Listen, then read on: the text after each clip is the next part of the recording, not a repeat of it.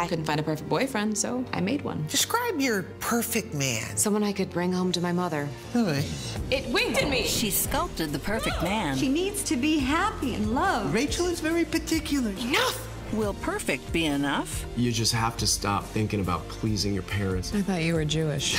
he makes me laugh. You want to laugh? Watch Seinfeld. I love you so much. Oh, I rest my case. He's perfect. Made for each other. All new Saturday, February 25th. Only on W.